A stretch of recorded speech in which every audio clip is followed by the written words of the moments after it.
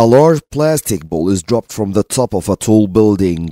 Figure shows the speed time graph for the falling ball until it hits the ground.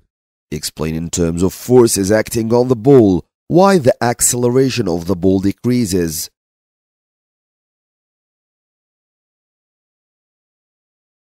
First, we must remember how an object falls against air resistance. The only force that acts on this box at the beginning of its fall is its weight. As it starts to have a speed, it experiences some air resistance.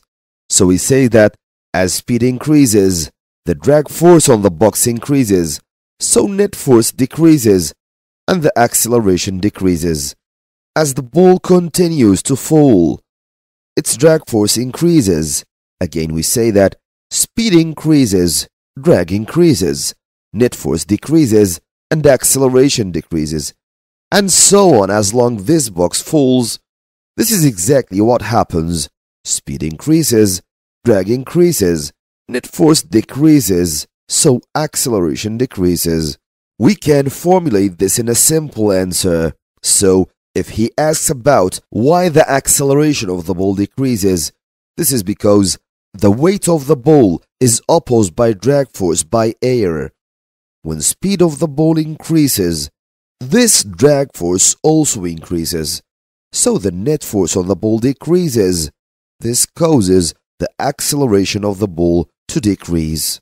This is the simplest answer you can say. Double I. Why the ball reaches a terminal velocity.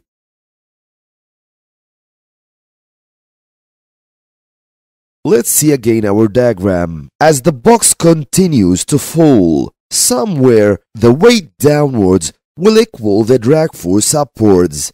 In this case, the net force is zero. This means that the acceleration is zero and the box now will fall with constant speed. This constant speed is named the terminal velocity. You can say this as when weight downwards equal air resistance upwards, which is the drag. So now net force on the ball equals zero. So acceleration equals zero. And now the ball moves with constant speed.